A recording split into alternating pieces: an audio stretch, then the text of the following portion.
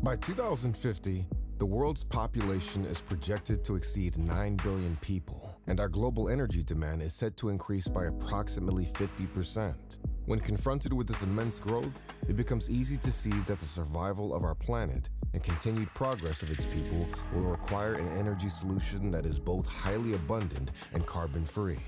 While wind, solar, and other renewables will play a valuable role in decreasing our dependence on carbon emitting fuels, our accelerating demand for clean energy and energy security will ultimately require a source of energy that doesn't fluctuate with weather, seasons, or time of day, and can ramp up rapidly up and down to compensate for power sources that do not.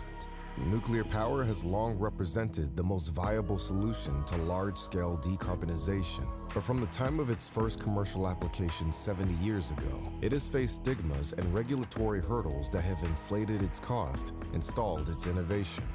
All despite providing around-the-clock clean energy to millions of Americans every day.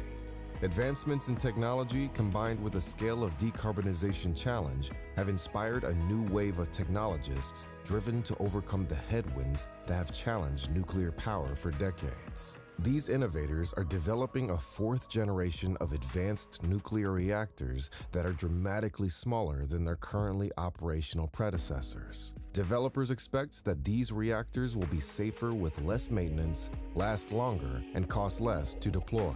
Incredibly, a pellet of uranium containing fuel from a second or third generation reactor the size of an almond can contain as much energy as 2,000 pounds of coal, or nearly 150 gallons of crude oil.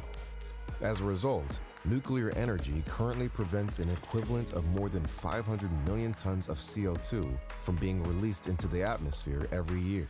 As we speak, more than half of the carbon free energy being put to use in the United States is produced at nearly 100 nuclear reactors across the country. But most of these facilities were built in the 1970s or 80s as part of nuclear's second generation, using technology developed in the 1950s, and their reactors are becoming older. Given their immense size and complexity, large-scale traditional nuclear reactors have been subject to huge cost overruns and construction delays. They also tended to be customized designs unique to each site, with no two reactors really being the same. Simply put, the constant changes on such large and complex systems introduced huge uncertainty and further failed to provide a streamlined process from one facility to the next. In the face of these challenges, it's undeniable that for nuclear's potential to ever be realized, we need a whole new breed of reactor, one that is smaller, safer, and much more versatile than ever before. Within this new wave of nuclear innovation are reactors that range in size down to the single megawatt scale. Referred to as microreactors, they are aimed at powering remote communities, hospital backup systems, or even spacecraft. Scalable and more suitable for long-term, grid connectivity or large industrial applications due to their ability to ramp up modularly Advanced Small Modular Reactors, or SMRs, can produce power that can range as low as tens of megawatts or increase to hundreds or even thousands of megawatts. This is enough electricity to support a small town or be scaled up to meet a range of power demands from small towns to large cities. In addition to being scalable, most advanced SMRs will be made from standardized components. They will be pre-assembled at manufacturing facilities and shipped to their operating site for installation. These features will greatly reduce the capital needed to bring a new plant online and will make nuclear power more accessible to a far broader range of consumers. Above all else, advanced SMRs are expected to set new precedents for safety.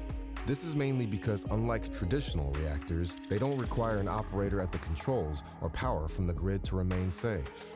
Many advanced reactors are able to rely on the laws of physics in the event of a loss of cooling to quickly reduce the fission reaction and then slowly disperse the remaining energy safely while trapping radioactive byproducts. This innate stability is the key to expected increases in safety while decreasing costs and eliminating certain features of conventional nuclear, like the enormous containment facilities we've come to know. The arrival of these advanced reactors heralds a new age for nuclear energy, We expect that their small size and inherent safety will bring nuclear power to new places and new applications, from small towns and far-flung outposts to urban centers or the surface of the moon. The long-awaited promise of safe, clean, and affordable energy is finally at our fingertips.